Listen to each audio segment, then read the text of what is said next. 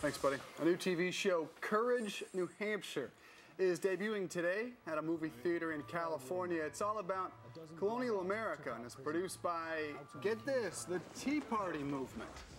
Yes, the Tea Party movement going to Hollywood, debuting a show and a new production company. Comedian and radio personality Tony Katz has spoken at more than a dozen Tea Party events and has the inside scoop on the show Courage, New Hampshire. Thanks for being with us, Tony.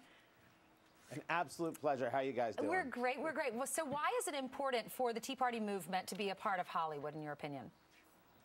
Well, you got to understand that the Tea Party movement already is a part of Hollywood. Here in, in, in Southern California, we're everywhere. And what Jonathan Wilson and James uh, Patrick Riley of ColonyBay.net, Colony Bay Entertainment, have done is simply said there's a niche, there's an opportunity here, and we're going to take full advantage of it. So they created Courage New Hampshire, which is the story of America before it became America. It's this, it's an unbelievable period piece, all filmed on on James's farm, Riley's farm, out there far to the east of Los Angeles beautifully done. Stars uh, Basil Hoffman, who was in No Ordinary People, a bunch of great new actors, uh, and it's really this very special piece. We're, we're all very proud of it. Tony, you know Hollywood tends to lean, uh, let's just say a little bit left. How in the world does no. the Tea Party get their message lie. across in liberal Hollywood?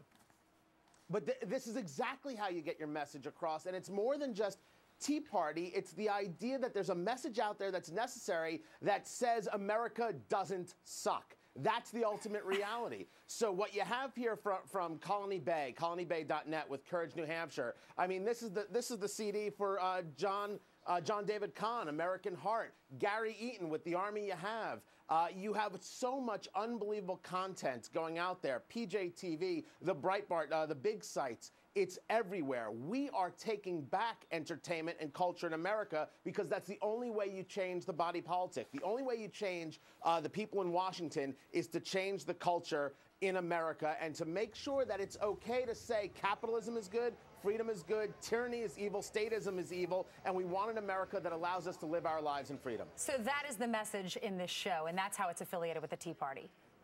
Yeah, uh, the, the, the, Jonathan Wilson is the co-founder of the Pasadena Patriots, one of the greatest Tea Party groups in the country. James Patrick Riley is a member of that group and is most known for his Patrick Henry imitations. I mean, it's it's an unbelievable thing. You've got to see it. And these men saw an opportunity and they saw a niche in the market. You know, TV is more than just New York and Los Angeles. Mm -hmm. There's a wide swath of the country that wants to see something that's interesting. And, and, Courage New Hampshire is this great thing of colonial America mixed with the Sopranos. Mm -hmm. I mean, it's not just what, what the left is trying to make of it. Right. If you look at the Hollywood Reporter article and how they have attacked in the comments, how they have attacked this show, they haven't even seen the show yet. This show has intrigue, it has suspense, it has drama. It is going to be fantastic. It's We're tonight. looking forward to it. Tony Katz, uh, comedian and radio personality, and it's called Courage, New Hampshire. Thanks for being with us.